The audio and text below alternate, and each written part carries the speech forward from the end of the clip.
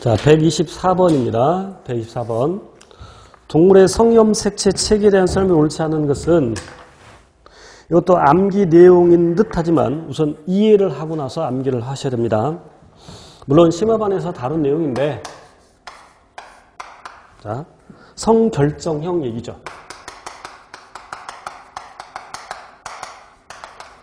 이 내용을 학생들이 소홀하기 쉬운데 이렇게 가끔 출제가 돼요. 그래서 성결정형은 자, 웅성이형과 자성이형이 있다. 자웅 이 말은 암수라는 뜻이고 그럼 웅성이형이라는 얘기는 수컷의 성염색체가 다르다. 그래서 XY 타입 있고 XO 타입 있고 그래서 O는 없다는 얘기. 그럼 자성이형은 암컷의 성염색체가 서로 다른데 ZW형이 있고 ZO형이 있고 자, 그래서 XY형은 상염색체를 EA로 놓고 그럼 성염색체 XX인 경우 XY인 경우 수컷의 성염색체가 서로 다르다. XY가 수컷이고 XX는 암컷이다. 여기에 해당되는 게 얘까지 완벽하게 기억하셔야 돼요. 초파리하고 사람. 그래서 성별을 결정하는 것은 물론 이것도 어, 그 동물마다 다른데 사람의 경우에는 Y염색의 유무가 성별을 결정한다. 초파리의 경우에는 X염색의 수가 성별을 결정한다.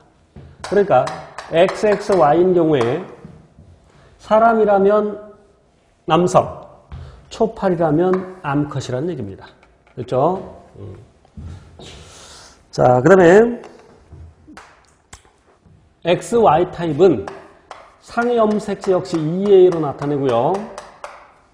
성염색체 XX 그리고 X O는 없다는 뜻, 하나 없다는 뜻. 그래서 X 하나만 있는 게 수컷, XX 암컷.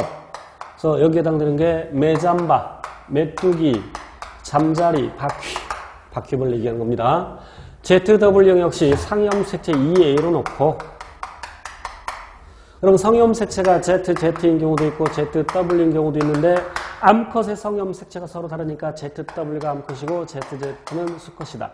여기 ZW인 경우에 W, 우먼, 여자, 누나, 닭. 누나 미안해. 어, 그래서 누에, 나비, 닭.